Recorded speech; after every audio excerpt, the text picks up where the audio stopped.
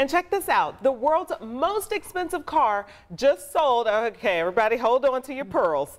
$142 million. wow, this is what it looks like. It's beautiful. So this was purchased by a private owner. This is a 1955 Mercedes-Benz SLR Coupe. This was an invitation-only auction.